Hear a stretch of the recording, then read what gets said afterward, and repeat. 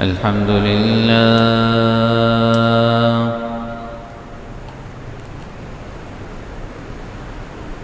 الحمد لله نحمده ونستعينه ونستغفره ونؤمن به ونتوكل عليه.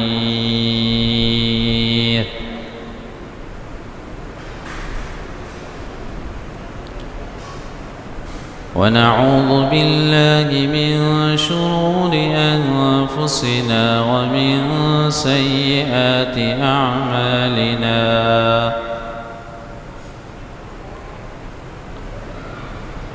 من يهده الله فلا مضل له ومن يضلله فلا هادي له.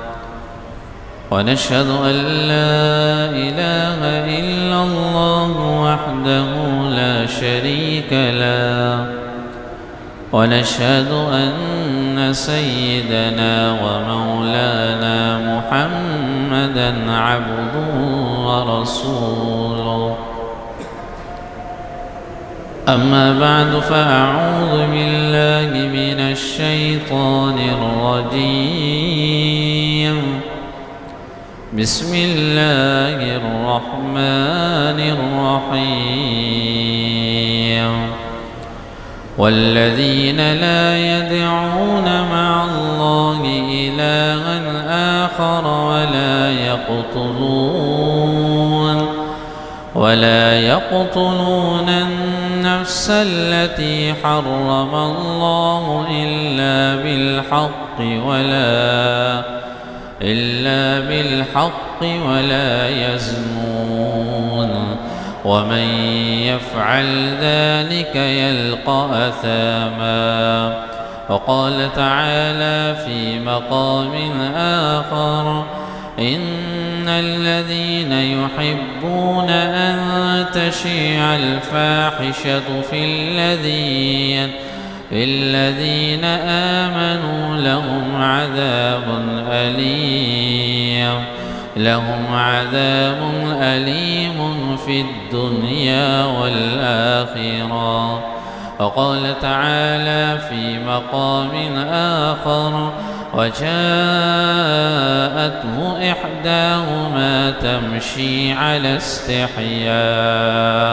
وقال النبي صلى الله عليه وسلم الإيمان بضع وسبعون شعبة أفضلها قول لا إله إلا الله وأدناها إماطة الأذى عن الطريق والحياء شعبة من الإيمان. صدق الله العظيم وصدق رسوله النبي الكريم ونحن على ذلك لمن الشاهدين والشاكرين والحمد لله رب العالمين اللهم صل على سيدنا محمد وعلى وعلى آل سيدنا محمد وبارك وسلم. اللهم صل على سيدنا محمد وعلى وعلى آل سيدنا محمد وبارك وسلم. کوئی بھی انسان دنیا میں ایسا نہیں ہے کہ جس کی فطرت میں اللہ نے حیا نہیں رکھی ہو۔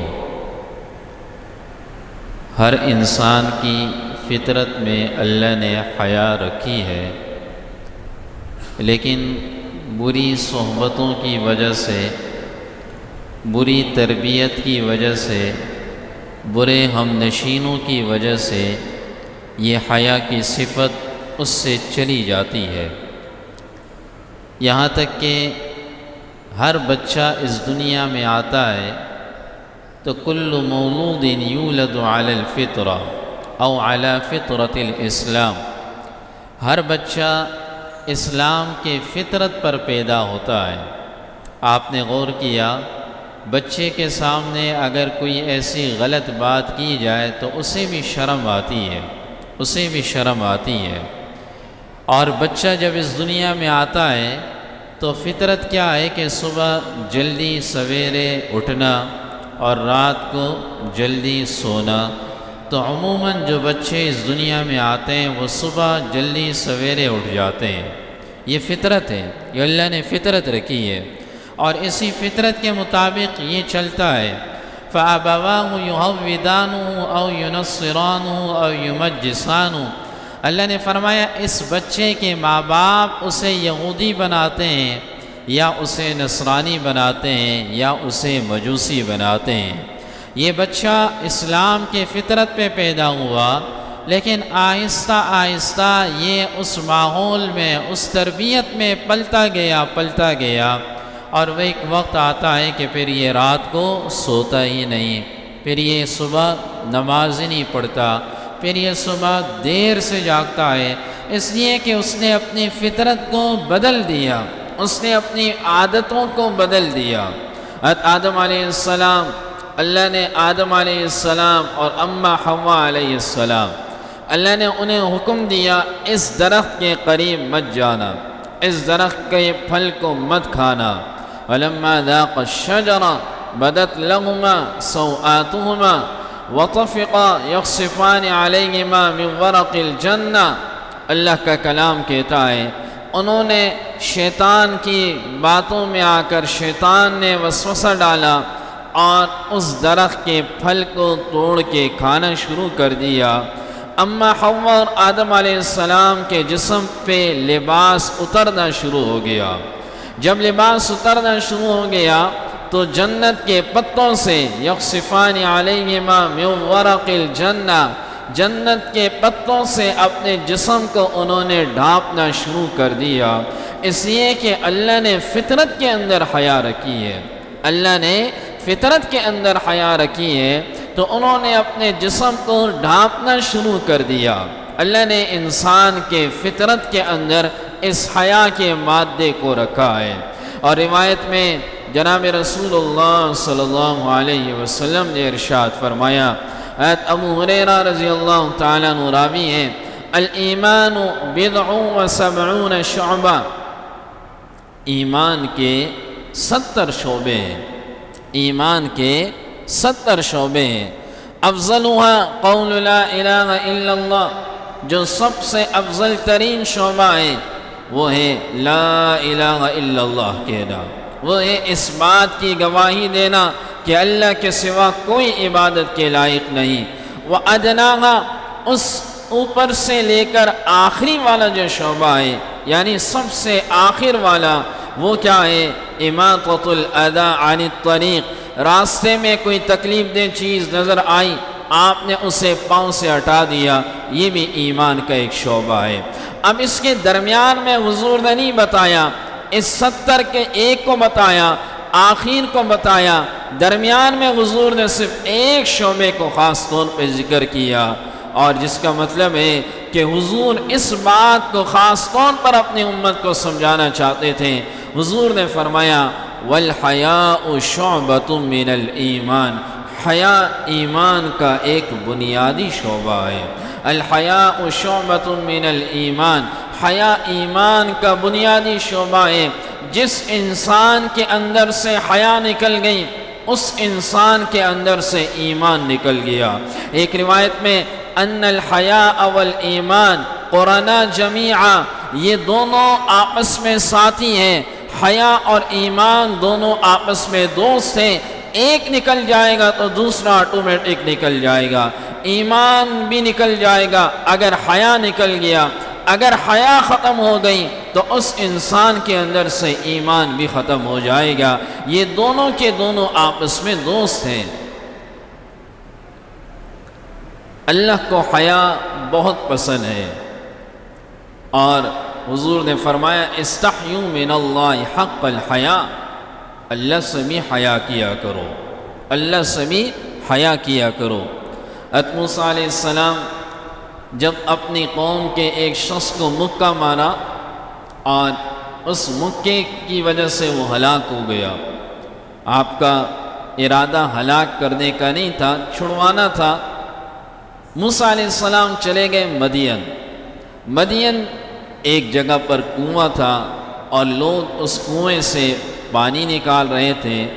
اس کنویں کے سائٹ میں دو نوجوان لڑکیاں کھڑی تھیں اور وہ اس انتظار میں تھی کہ یہ مرد لوگ اپنی باری پوری کریں تو ہم آخر میں چونکہ خواتین ہیں، تو آخر میں ہم پردے کے ساتھ پھر پانی نکالیں، مرد یہاں سے چلے جائیں گے۔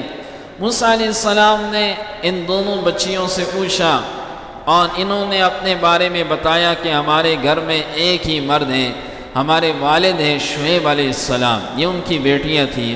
لیکن وہ بوڑھے ہیں اور وہ پانی لے جانے کا کام نہیں کر سکتے۔ موسیٰ علیہ السلام نے کہا، لے اور ڈول، میں تمہارے لیے پانی بھرتا ہوں. موسیٰ علیہ السلام نے ان کے لیے پانی بھرا۔ یہ بچیاں چلی گئیں۔ اور چلی جانے کے بعد ان بچیوں نے اپنے باپ شعیب علیہ السلام کو یہ سارا قصہ سنایا۔ شعیب علیہ السلام نے کہا اور انہیں کہا کہ ہمارے علاقے کا نہیں لگتا تھا۔ لگتا تھا کہ وہ کسی باہر سے آیا ہوا بندہ ہے اور وہیں پر بیٹھا ہوا آرام کر رہا ہے۔ شیب علیہ السلام نے اپنی ایک بچی سے کہا کہ ہو سکتا ہے مہمان ہوگا، جاؤ اس مہمان کو بلاؤ، اس نے ہماری خدمت کی ہے، تو ہمارا بھی حق ہے کہ ہم اس مہمان کی خدمت کریں۔ اللہ کے کلام میں اس لڑکی کے آنے کے چال اور ڈھال کو بیان کیا۔ یہ جو لڑکی اب گھر سے نکلی شیب علیہ السلام کے گھر سے ان کی بیٹی نکلی، موسیٰ علیہ السلام کے پاس آنے کے لیے اللہ کے کلام نے اس لڑکی کے آنے کو بیان کیا۔ اللہ نے فرمایا، یہ بچی آ رہی تھی اور بڑے حیا کی حالت میں آ رہی تھی۔ اس بچی نے اپنے چہرے کو چھپایا ہوا تھا۔ اس بچی نے پورے پردے کا انتظام کیا ہوا تھا۔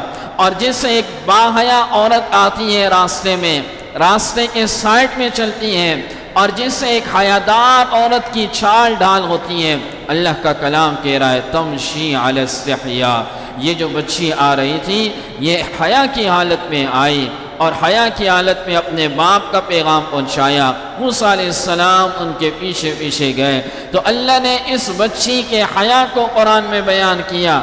تو حیا ایمان کا ایک اہم ترین حصہ ہے۔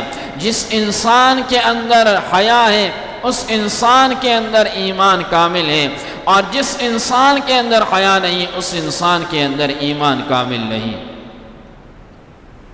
ایک مشہور محدث گزرے ہیں۔ امام شعبہ بن حجاج رحمہ اللہ۔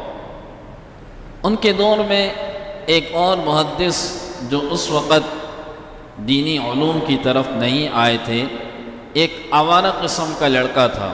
عبداللہ بن مسلمہ قانبی رحمہ اللہ یہ عبداللہ بن مسلمہ، یہ آوارہ قسم کا ایک لڑکا تھا۔ آپ کو عجیب بات بتاؤں سہائے ستہ جو احادیث کی کتابیں ہیں، اس کتابوں کے اندر اس وقت بہت ساری روایات عبداللہ بن مسلمہ سے منصور ہے۔